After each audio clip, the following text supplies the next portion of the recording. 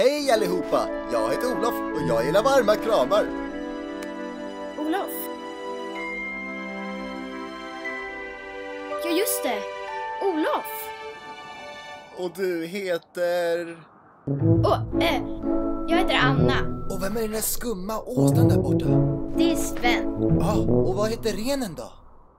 Sven. Ja, så de... Åh, ja, ja, då blir det lätt att komma ihåg.